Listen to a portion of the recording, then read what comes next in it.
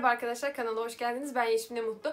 Bugün sizlere ben nasıl üniversite sınavına hazırlandım diye bir video çektiğimde çok fazla bu tarz videoda istediğiniz için bunu çekeceğim.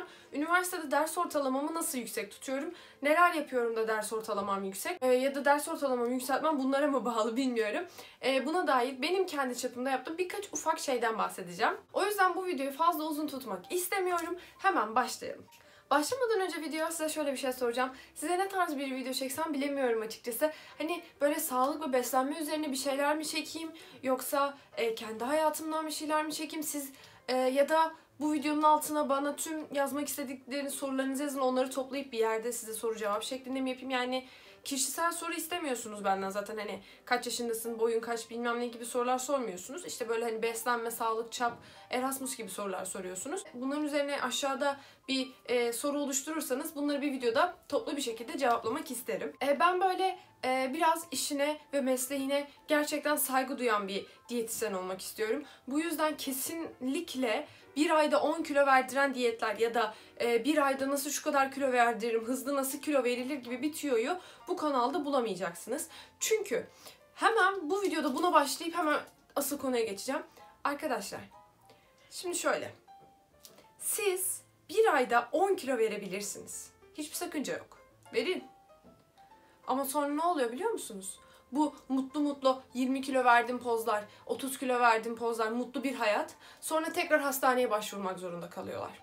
Neden? Kalp hastalıkları mı oluşuyor? Böbrek taşları mı oluşuyor? Böbrek fonksiyonları mı bozuluyor? Biz hızlıca size kilo verdirdik. Şimdi siz sporsuz bir şekilde ayda 10 kilo verdiniz. Ne oluyor biliyor musunuz? Siz o yağları yakmadınız, yıktınız. Yıkmakla yakmak farklıdır. O yağları yıktınız. Geldi burada karındaki yağlarınız, kalçanızdaki yağlarınız geldi. Dolaşıyor damarlarınızda. Ne oluyor? Damar tıkanıklığı. Sonrasında da kalp hastalıkları. Ya da böbrek taşları. Uğraşa durun. Lütfen sağlığınızı hızlıca hemen o hayalde kurduğunuz vücuda ulaşmak için yapmayın. Lütfen beslenmenizi vücudunuza göre değil, sağlığınıza ve ruhunuza göre yapın. Ben bu mesleğe başlarken şimdi asıl e, genel olarak şeye dönmek istiyorum. Nasıl ortalamamı yükselttiğime. Ben gerçekten mesleğime saygı duyarak yapmak istediğim için ileride de anılırsam şöyle anılmak istemiyorum. 20 kilo verdiren diyetisyen, 35 kilo verdiren diyetisyen değil. Bana şu diyetisyen Yeşim şifa buldurdu. Bu diyetisyen Yeşim sayesinde şifa buldum. Rahatladım, huzura erdim. Artık bu, bu hastalıktan, bu sıkıntıyı çekmiyorum gibi. Arkadaşlar bize müfredatta sadece bir hafta zayıflama öğretiliyor. Sonrasındaki hepsi bilmem kaç milyon hastalık. Yani ben bu mesleği 4 sene boyunca okuduysam sadece obez insanları zayıflatmak için değil. Zaten obez insanın yanında diyabet hastası oluyorlar, gut hastalığı da oluyorlar. Ama mesela ben hasta böyle sıkıntılar çekiyor.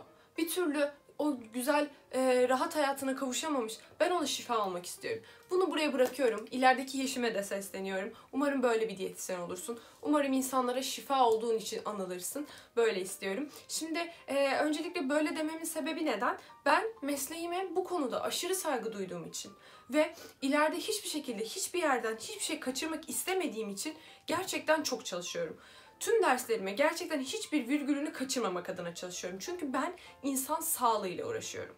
Ee, bunu siz e, isterseniz lisedeki ders programınıza da uygulayın. Ee, bu kadar böyle hani şey profesyonel olmayabilir uygulamanız. Çünkü ben birebir mesleğimle alakalı şeyler öğreniyorum ama siz işte matematik, fizik pek fazla bölümünüzle belki alakalı olmayacak şeyler bile görebiliyorsunuz. Ee, ben Yeditepe Üniversitesi'nde beslenme ve diyetetik 3. sınıf öğrencisiyim. Bunu belki şu an ilk defa bu videoyu izliyorsunuz. Ee, ve 3.88 ortalamam var diye belirtmiştim. Siz de bana ortalama nasıl yükseltiyorsunuz diye sormuştunuz.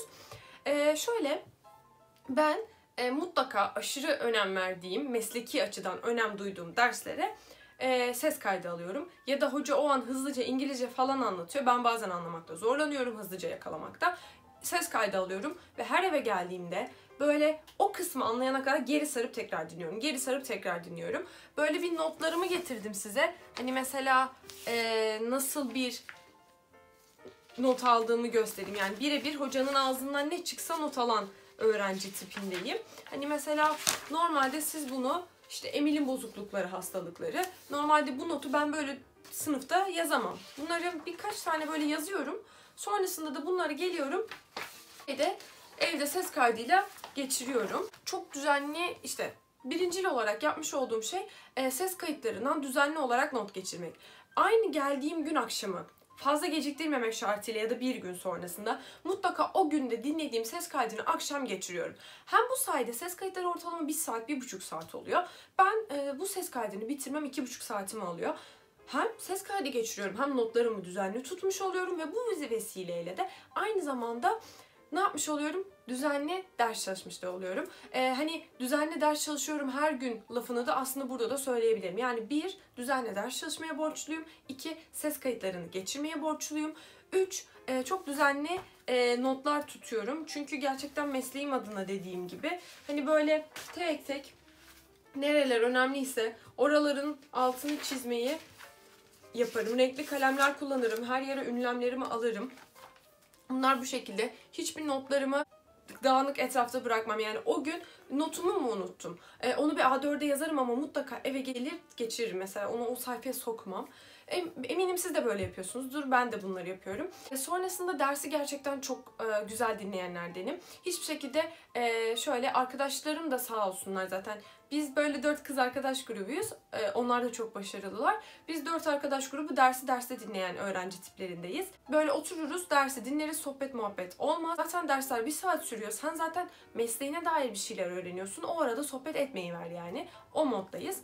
Sonrasında e, bu videoyu çok uzun tutmayacağım çünkü öyle efsaneler yarattığım bir şey yok. Dediğim gibi düzenli tekrar yaparım. E, sessiz ortamlarda ders çalışmayı severim. Böyle e, kalabalık beni çıldırtıyor. Bu yüzden mutlaka sessiz ortamda ders çalışırım.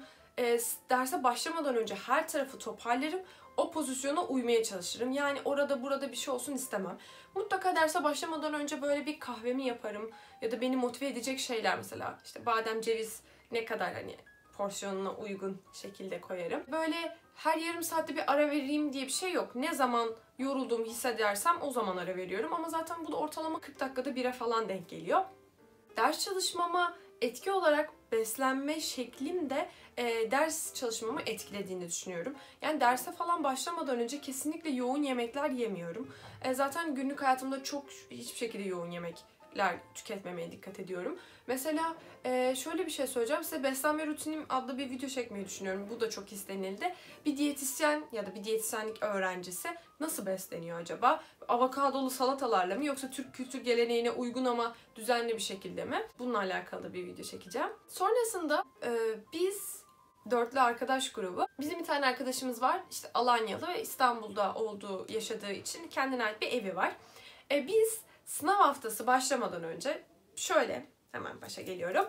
Ee, ben tüm konuları o arkadaşlarımla buluşmadan önce mutlaka bitirmiş hiçbir pürüzümün kalmamış olmuş şeklinde geliyorum. Yani sınavlardan önce ben konuları bitirmiş, son gün e, ders çalışırken sıkılan öğrenci tiplerinden oluyorum.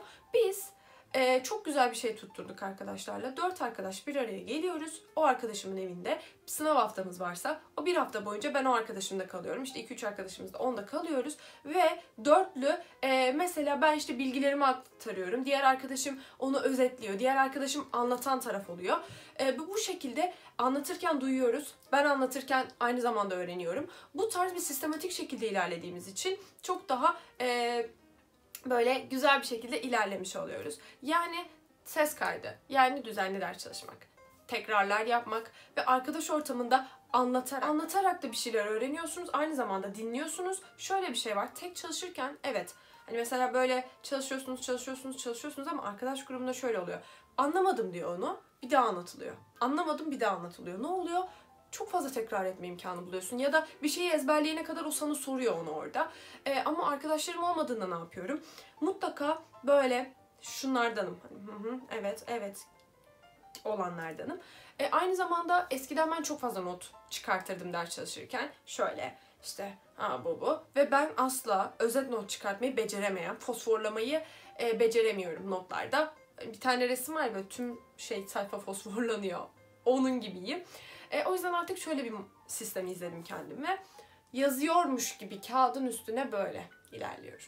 Hani, ha evet evet, aa evet, hı hı, tik hani aa evet. Halbuki aslında orada bir şeyler yazmıyor yani doktor yazısı gibi bir şey oluyor böyle. Ama kendi zihnim hem onu yazıyor, hem okuyor, hem tekrar ediyor, hem görüyor. Bu yüzden de beynime bir daha işliyor. Bu ders çalışma yöntemi benim ders çalışma yöntemim. Ben bu ders çalışma yöntemimin mühendislik öğrencilerine ya da diğer öğrencilere pek uyduğunu sanmıyorum. Biraz daha sözel tarzı e, bölüm olanlara uyduğunu düşünüyorum. Beslenme ve diyetetik sayısalla, e, biyoloji, kimya ile alsa dahi artık belli şeyden sonra sözele dönüyor konular. Bu yüzden de böyle Allah mühendislik öğrencilerinin e, yanında olsun. Bu ders çalışma programı çok etkili olur mu onlara bilmiyorum. Ama bu ders çalışma yöntemi, bu ses kaydı alma, tekrar etme gibi yöntemler e, eminim ki e, siz e, lise öğrencilerine, ilkokul öğrencilerine de çok yarayacaktır ama ilkokulda ses kaydı alınmıyordur herhalde. E, benim ekstra böyle aşırı bir şekilde yapmış olduğum bir şey yok dediğim gibi. Biraz karışık gidiyorum çünkü e, önceden düşününce bir şeyleri unutuyormuşum gibi geliyor. Doğaçlama burada size anlatmak istiyorum. Ne kadar doğru onu da bilmiyorum. Mesela bir ton kitaplarımız var. Yani o kitaplardan sürekli geldiğim gün ses kaydını geçiriyorum ya en geç bir gün sonra geçiriyorum dedim.